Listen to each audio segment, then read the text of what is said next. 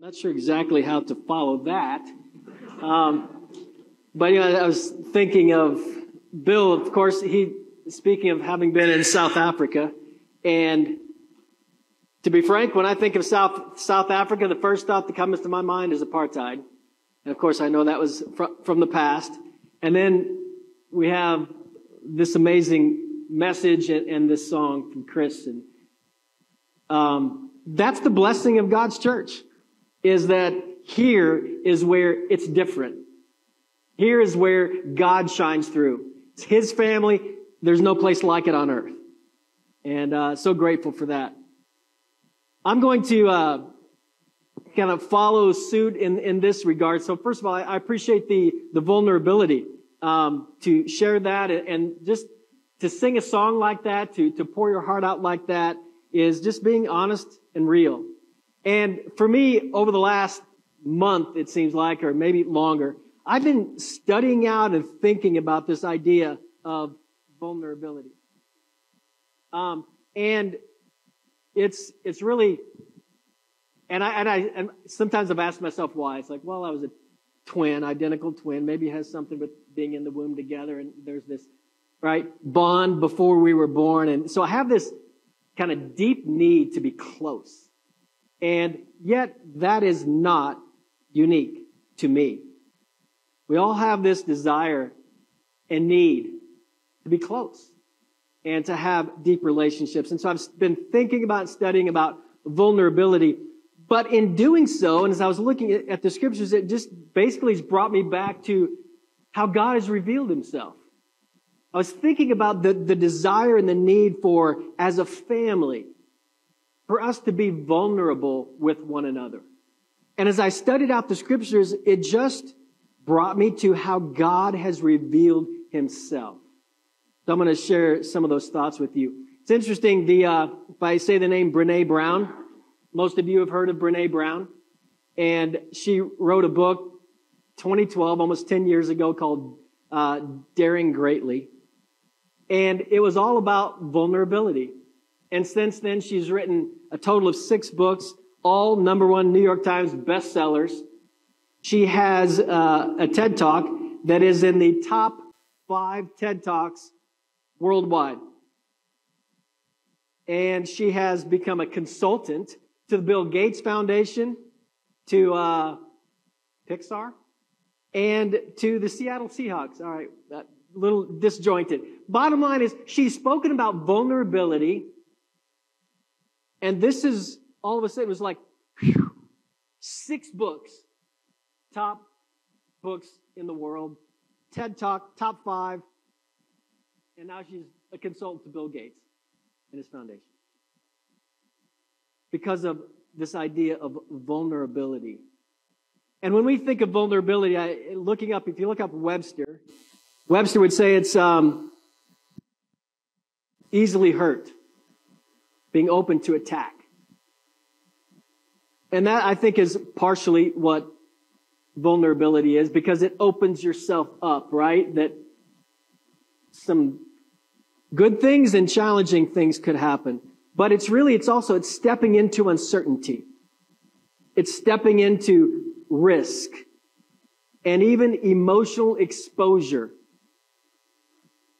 And as I studied that out and began looking in the scriptures, I see that Jesus, and, and you may be, you may have different thoughts of this idea of vulnerability, like, oh my goodness, we're having a sermon on vulnerability. You know, is that, is that biblical? Jesus stepped into uncertainty like none of us ever have. He risked like none of us have. And you talk about opening himself up emotionally to attack and harm. He did. Is our God a vulnerable God? Is God vulnerable? Is he open to attack, harm? Does he step forward in uncertainty, risk? In John chapter 20, turn there. John 20, when Jesus appears to Thomas.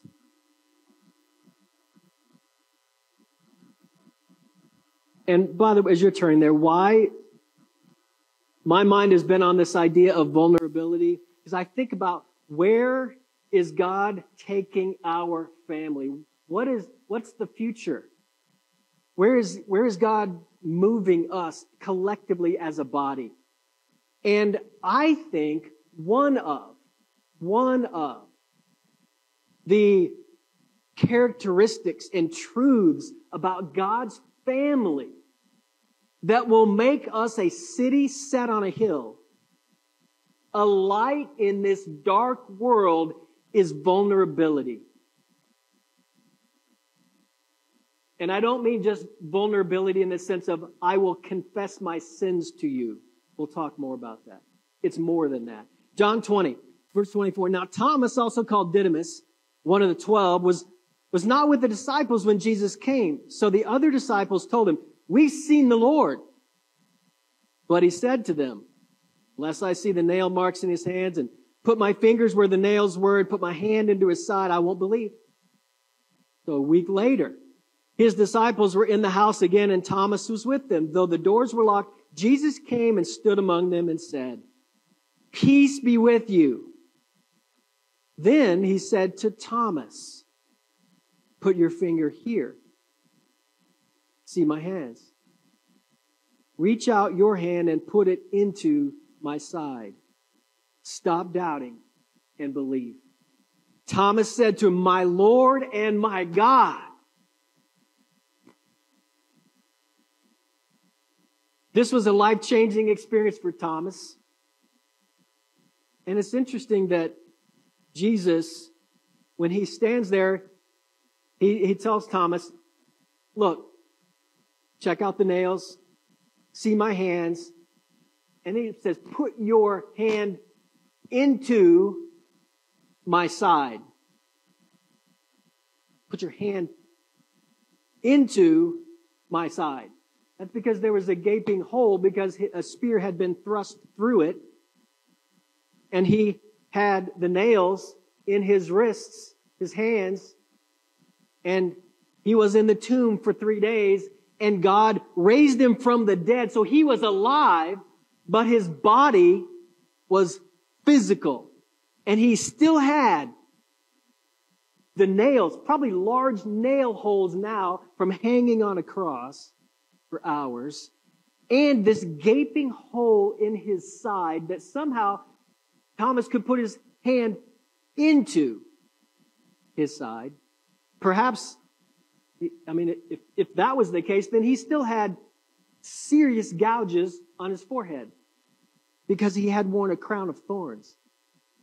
And so when he stood before the apostles, the disciples, God didn't change him so that he was this beautiful, all put together, no scars. He stood there in his brokenness like he was three days ago. He stood before them broken, right? Marred. Probably bruises still on his face. Three days ago, he had been beaten with a staff. And so here he stands before them. And when Thomas sees that, my Lord and my God, he stood there with the nail holes, bruises, and the cuts. This is what a conquering Messiah looks like. This is what a risen Messiah looks like. In John 1, when Jesus came, says he came to that which was his own, right? We remember the second part of that verse. He came to those who were his own, but his own what? Did not receive him. They wouldn't recognize him. He came even to his own. No, no, no. Isaiah 53 tells us that Jesus was rejected, despised and rejected by men. Somehow this Messiah that came wasn't accepted. Probably because he was such a different Messiah than was to be expected. And so when he stood there, risen, with the power of God having raised him from the dead, he still revealed all of his weakness, the frailty that his body just went through. In Mark chapter 8, turn to Mark chapter 8, in verse 27.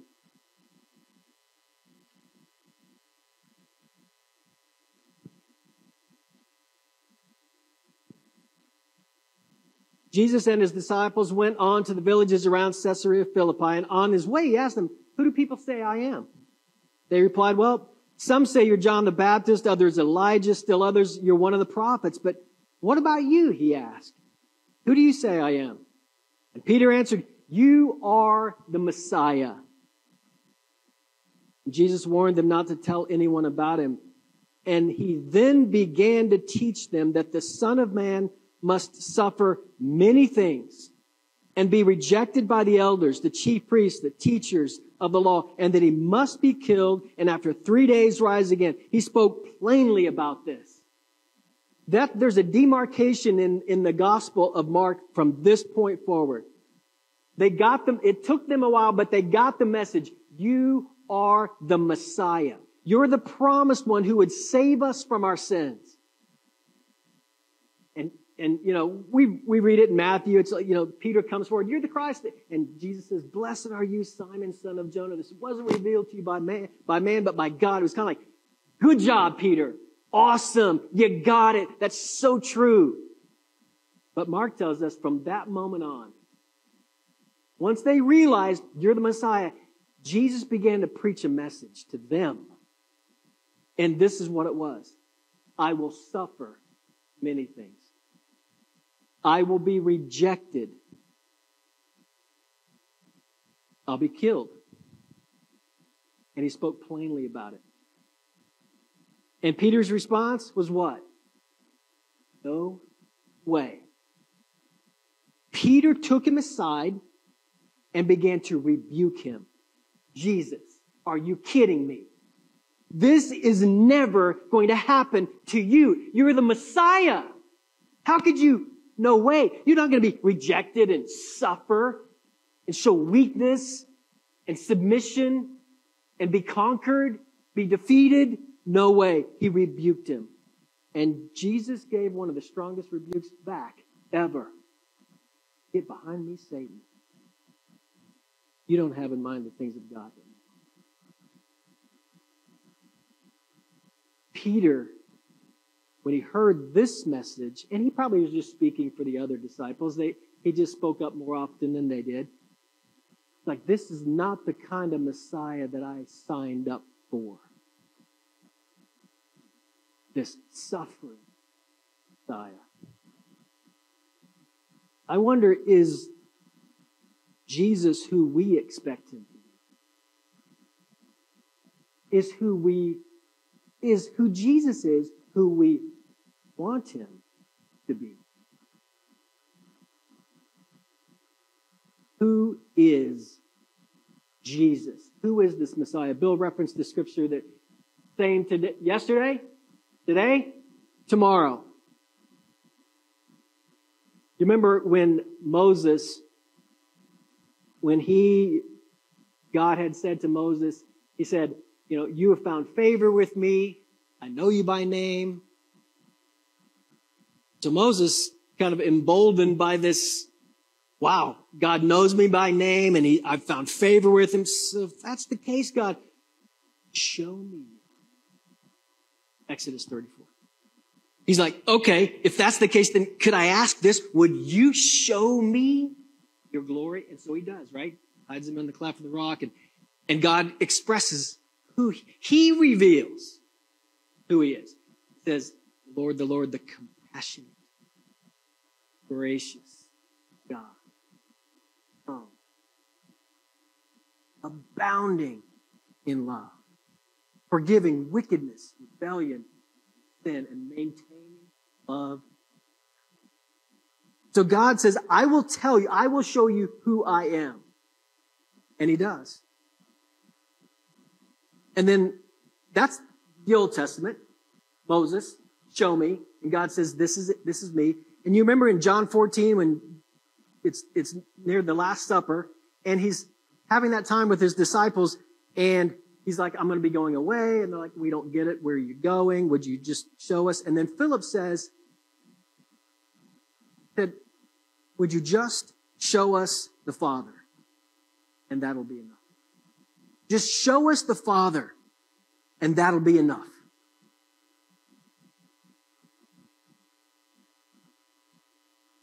Jesus says, Seen me? You've seen the Father. I and the Father are one. In fact, you have seen the Father because you've seen me. And so the point is, is that we have to let God define who he is. How God reveals himself through Christ to be. Moses was like, okay, you show me. And this, and God got to reveal who he was. Moses wasn't painting the picture of this is who God is. God said, okay, I will tell you. This is who I am. And then when, when Philip says, just, just show us the Father. I want to see who God is. I want to see what God is really like. Just show us. That'll be enough. Uh, it's kind of like kids. I want to ask another question. If, if you just give me this. And Jesus says, okay. But you've seen. You're looking at the Father because you've seen me. We have to be comfortable letting God define who he is and what he is like. Is God a vulnerable God? We have to pursue God's vision and revelation of himself. Not just pursue it, we have to love it. We need to love who God reveals himself to be. Who we will be as a church has everything to do who we see God. Everything. And so God, show us. And, and that's the amazing thing, right? We could, we could spend 10,000 sermons who God is and have just scratched. So I don't pretend to say in one sermon, we're going to define God. That's not going to happen. But we have, let's let God show us some things about Him. Because, again, God's vision and revelation of Himself should inform who we are as a church. Not culturally, as Bill mentioned, not from familial impact, but let God define who He is and therefore who we as a family should be. Because, right, 1 John 2 6, anyone who claims to live in him must what? Walk as he walked. The hope, we read the scriptures, we see constantly, we're to imitate God, be imitators of God. We're to imitate Christ. We're to become like him. And so therefore the church is as God reveals himself. Who we will be as a church. And that's my question. Who will we be a year from now as a family? What will the Knoxville church look like? Not only a number, but what will the heart of the Knoxville church? When someone comes and, and is with us and they drive home and they think, what is this church? What will they see?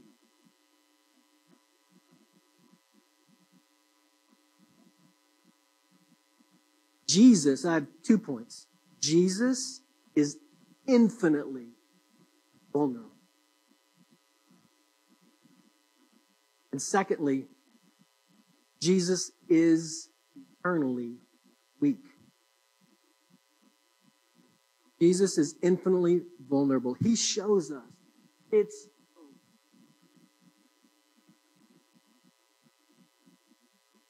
okay to put yourself in a place that's uncertain, to put yourself in a place where you might be hurt. No, no, no, no, no. I can't do that. I won't. I am But isn't Jesus our example? Now, Jesus, Jesus, we're doing our best.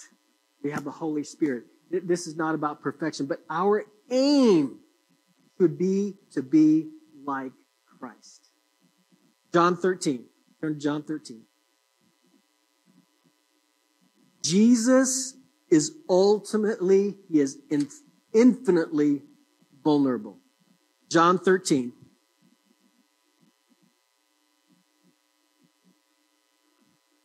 He is, well, let's just, let's read 1 through 9. It was just before the Passover festival. Jesus, so this, it's Thursday night for the crucifixion on Friday.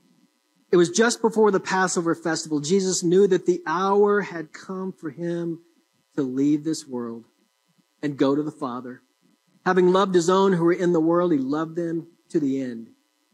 The evening meal was in progress, and the devil had already prompted Judas, son of Simon Iscariot, to betray Jesus. Jesus knew that the Father had put all things under his power. He had come from God and was returning to God.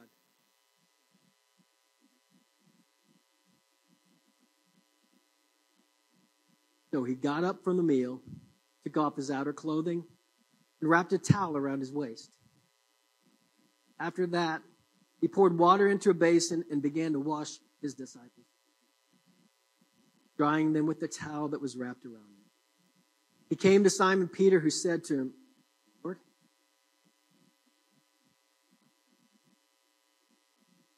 Jesus replied, You don't realize now what I'm doing, but later you will understand. No. You shall never wash my feet, said Peter. Jesus answered, Unless I wash you, you have no part with me. Then Lord, Simon Peter replied, Not just my feet, but my hands and my head as well. Jesus is, in the upper room, and it's called the Last Supper because it is. Last Supper with his best friend. The last one. And so he initiates supper together. Then, of course, it's, he tells us, do this. While he's begun this dinner together, this supper, which was not a, kind of like I eat, I'm done. This was a time together, hours. So he's having this dinner with them. And then as they're having this meal, he admits to them that he's going to be betrayed. In the midst of this dinner, he says, It's going to happen. One of you will betray me. And we know what, what the disciples do. They're like,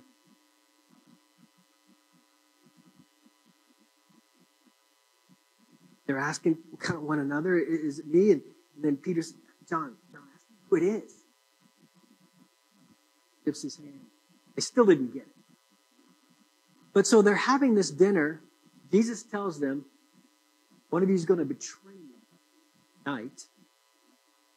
The disciples are sad. They're questioning. They're shocked.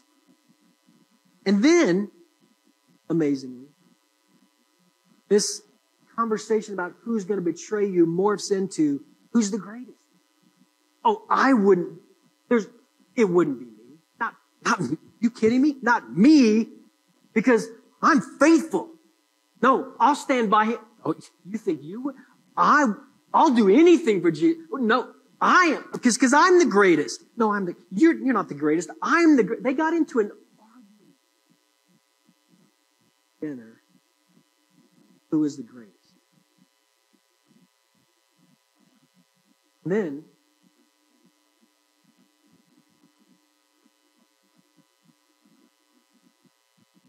imagine Jesus is about to go cross, and very best friends are arguing about greatest. But I want you to under, listen. What you know, God never wastes words in the scriptures, and so this John, who writes this later, look at the kind of preamble to Jesus washing their feet. Verse one. Says it was just before the Passover festival, and Jesus knew that the hour had come. I want you to think about what's in Jesus' mind before he actually gets up to wash their feet. One, he knew. Hours near. They didn't know it. He did. It's going to happen. The hour has come. This is the hour, the moment that I have come and lived for. And then he, he says that he loved his own. Jesus loved them desperately. And then it says he knew that God had put all things under his power. Jesus knew that he had the agency to do whatever. It was his choice. It was his decision on what was going to happen because God said, it's, it's, it's you. You're the one who's going to give your life, but it's your choice. Jesus knew that God had put all things under his, his power and that he had come from God and was returning to God. Jesus knew who I am. I came from God. I'm returning to God. The point, all this, he's like, why is God, John repeating all these things about what Jesus knew before? Why preface it so much? I think it's because of this. Is that Jesus' self consciousness, who he was, revealed itself when he stepped forward to wash. Like, yep, the hour's come. God's put everything in my hands. I love these guys. I've, came, I've come from God. I'm returning to God. So, here's what I'm going to do I'm going to wash their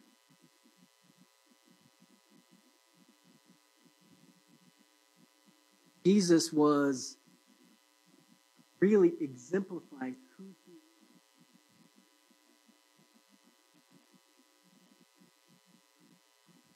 He was, and it's amazing because if, if I thought, okay, this is the momentous hour of my life, God has put all agency or decision in my hands. I came from God. I'm returning to God. Then, then I'm going to step forward and I'm going to do something powerful. I'm going to make a statement. I'm going to preach. I'm going to teach. I'm going to do something that's going to be powerful and, and grab their attention. But instead of that, when Jesus realized all these things, instead, he proved who he was in, not in power, but in weakness. Supposed weakness. He washed the disciples' feet. And for us, we've read it so many times and it, it may or may not really hit us. And maybe I know that there's a lot of folks who have said, let me just try this once, right? We've heard of it. I've heard of it, but I actually have never seen it, nor have I done it. But, but for Jesus, it wasn't just a ceremonial act. Their feet. Jesus' self understanding revealed itself not in strength, but humility. Humbling. Why, why would Peter react so vehemently? Why would he be? I mean, this is Jesus doing this, and he obviously washed a number of feet before he became, came to Peter. Why would Peter react so strongly? No! Never! No! Are you kidding me? That's, that is beyond, that is, you are, that's not worthy of who you are. My wife and I were talking the other day. She says sometimes it feels that way getting a pedicure. Like you're getting it, and she's like, I've never had a pedicure, just throwing that out there. Um, although I would like to. Um, but I mean, it, it actually, right, can be a little bit uncomfortable. Someone, you know, they get, they're getting paid taking in my toes. And what you might think is, I wouldn't want to do that. This wasn't giving a pedicure. This was Jesus doing what a servant would do. And no Jew, no Jewish servant would do that. And yet, Jesus.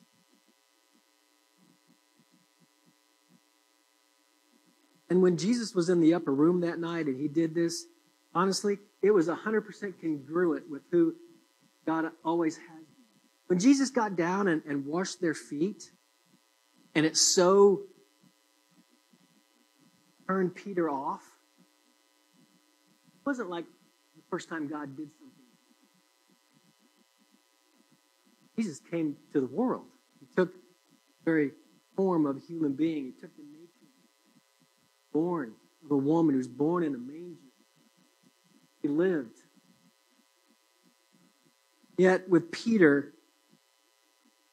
I think we understand that Jesus was, it wasn't just that he was being a servant, he was being vulnerable that day. Risky. He exposed himself. And Peter was embarrassed for Jesus. I don't think that God really cares. His weakness and his vulnerability shocks us. He didn't with Peter. He's like, oh, well, then let me, me apologize for what I did. Nope. He said, well, if you don't let me wash you, you have no part in me. God doesn't care if his weakness and his vulnerability shocks us. He won't change.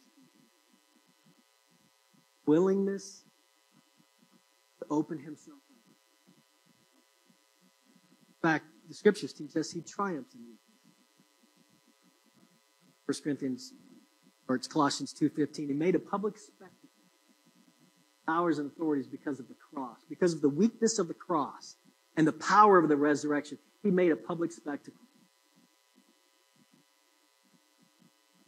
Jesus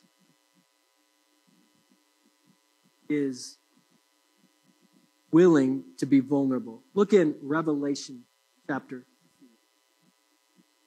Jesus is infinitely vulnerable with us. He's also eternally weak. As you're looking in Revelation, I want to remind you of a passage in Luke chapter 12. Jesus gives a uh, an illustration. Let me just read this to you as you're, as you're getting to Revelation. He says, Luke chapter 12, it's verse 35. Jesus gives this instruction to his disciples be, be dressed and ready for service and keep your lamps burning, like servants waiting for their master to return from a wedding banquet, so that when he comes and knocks, they can immediately open the door.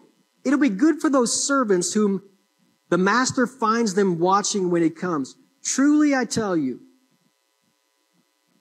he will dress himself to serve. He will have them recline at the table, and he will wait on them. Says the master will dress himself. He'll have them recline at the table, and then he'll go and he'll wait talking about heaven. When the master returns, the master will serve. Wait a second. That, that can't be right. Didn't Jesus also say, guys, I'm going there to prepare. I'm going to get it ready. When you have guests over to your house, what do you do? You get the place ready. You vacuum, you dust, you, you whatever. You make the place look good because you're serving. And Jesus says, I'm going there and I'm going to get it all ready. I'm going to prepare this place for you. And here he's saying, the master says, you're going to go recline. I'm going to go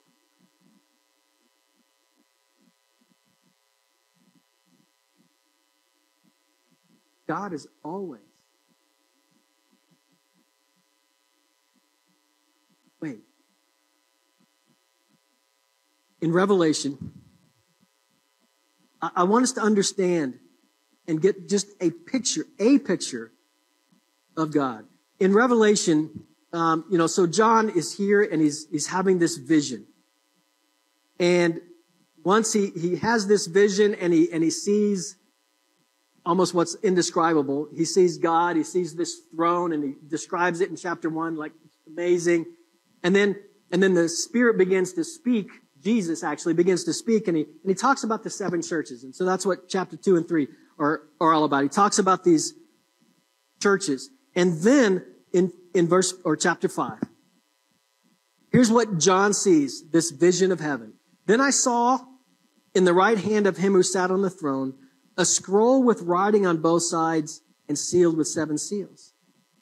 And I saw a mighty angel proclaiming in a loud voice, who is worthy to break the seals and open the scroll? But no one in heaven or on earth or under the earth could open the scroll or even look inside it. So I wept and wept because no one was found who was worthy to open the scroll.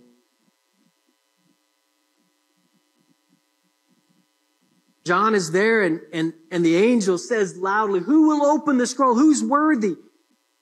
And no one in heaven, under heaven, on earth, no one. And John's looking and he's looking and there's nothing and there's no one and, and he begins, he says he weeps.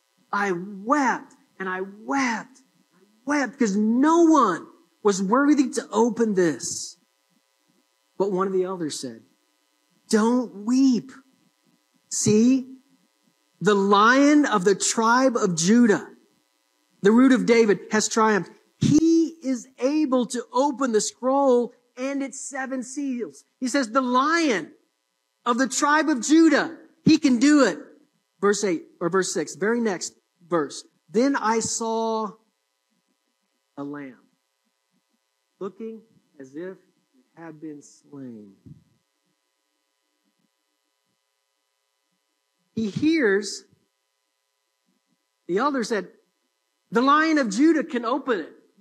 It's okay. Stop crying. The lion of Judah will do it. And so then he looks and he sees a lamb looking as if it had been slain, standing at the center of the throne. He had a vision of a lion, but what he actually saw was a lamb. What's a lamb? It says, looking as if it had been slain. What does that like? A lamb looking as if it had been slain. I don't know 100%, but it's a lamb that looks like it's dead, been slain. At the center of the throne, a lamb looking like it had been slain. It's dead. I don't know what that looks like, but standing at the center of the throne, it's this lamb. But wait, you just said the lion of Judah is able. He's able to open the scroll and its seven seals. But if you read all the way to chapter six and seven, I watched as the lamb opened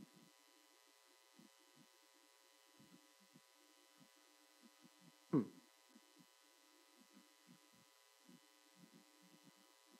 Verse 9 of chapter 5, speaking of the Lamb, says, And they sang a new song. You are worthy to take the scroll and to open its seals because you were slain. And with your blood, you purchased for God persons from every tribe and language and people and nation. You have made them to be a kingdom and priests to serve our God, and they will reign on the earth. Verse 12, in a loud voice, they were saying, worthy is the lamb who was slain to receive power and wealth and wisdom, and strength and honor and glory and praise. Who's worthy? The lamb that looks like it had been slain. This weak. It's a lamb. It's not the lion of Judah on the throne. It's the lamb looking like it had been slain.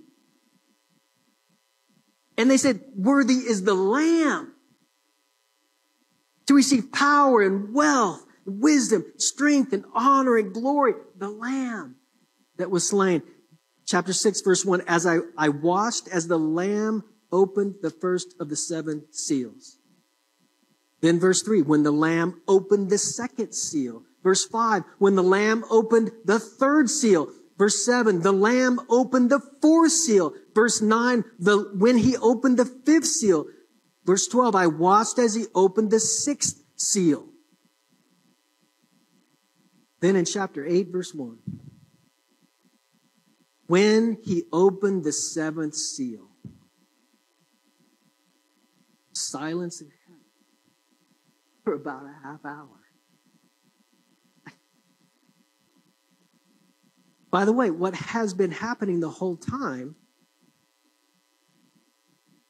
don't turn there, but in, in chapter 4, verse 8 says, day after, it says, day and night, they never stop saying, Holy, holy, holy is the Lord God Almighty, who was and is and is to come. Holy, holy, again and again and again and again. It's all day, all night. And then when he opened the seven seals,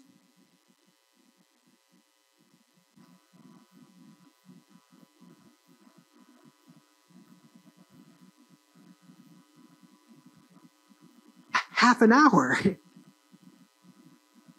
I half an hour, even to put that in there is like, that's just striking.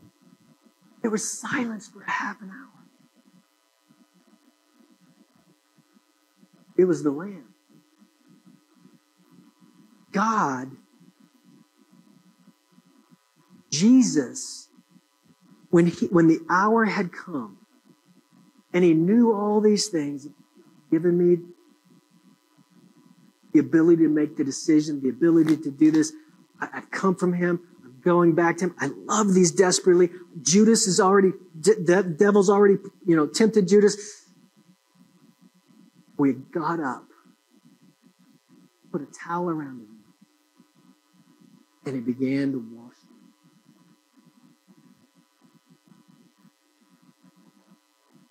Always, he's always been. What will they think? I'm the Messiah. Because to be the Messiah, ultimately, to be a lamb, weak. The word, Paul talks about that.